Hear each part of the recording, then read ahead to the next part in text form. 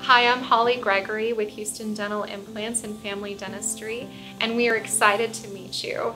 So there's all different kinds of ways to whiten teeth, and um, it's heavily advertised. It can be really confusing for patients. Let us be your guide that way, that we know you and your mouth and what will work best for your teeth different techniques for whitening and different materials for whitening should be applied to different patients because staining is not the same for everybody.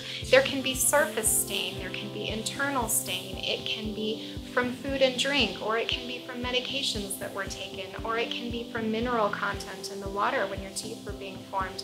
All of these have different ways of tackling them and different expectations for outcomes, and we're happy to work with you on the technique that's best for you.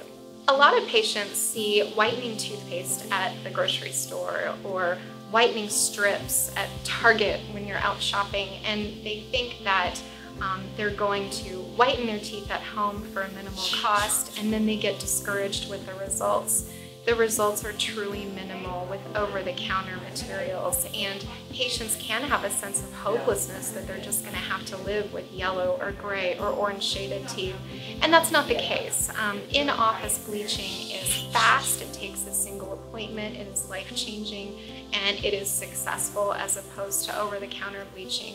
So don't lose hope, um, come see us.